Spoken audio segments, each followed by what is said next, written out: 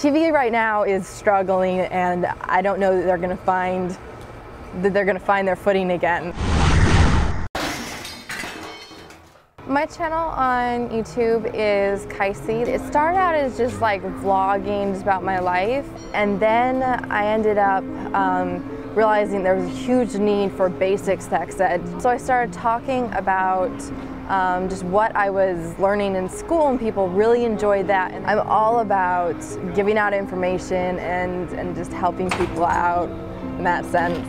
I have a, a, couple, actually quite a few really popular videos in the millions. My channel has become about sex ed and I don't really know how, it just kind of happened. I guess um, I really have no idea how that happened. It is global. Like I have viewers in all but five countries and that just boggles my mind. It's changed my life in giving me so many opportunities. Um, I've been able to work with some really great people. It's great to meet other YouTubers as well and get their perspective on things and their ideas. They're all just been incredible.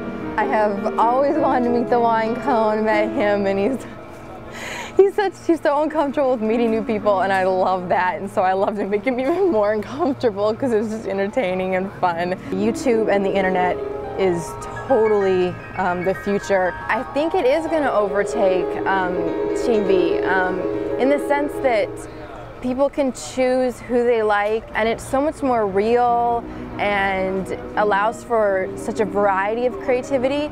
People aren't put inside a box and forced to um, to stay there.